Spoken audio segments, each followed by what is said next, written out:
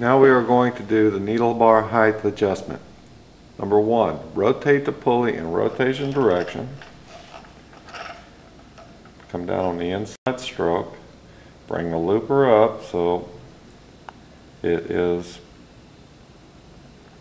like so on the needle. Then loosen the two Allen screws. Bring the needle so that the top of the needle eye is at the bottom of the looper,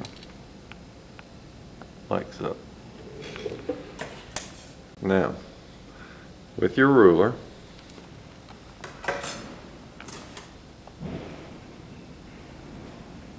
drop your needle bar 2.5.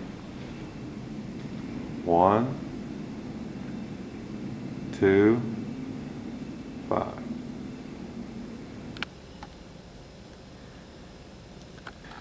Now tighten the Allen screws.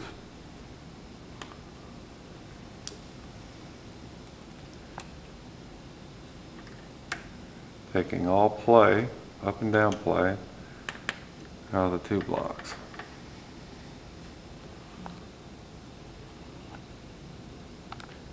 Rotate the pulley.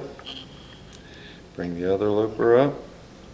Make sure that you're entering the needle the same on this side as you were on the other.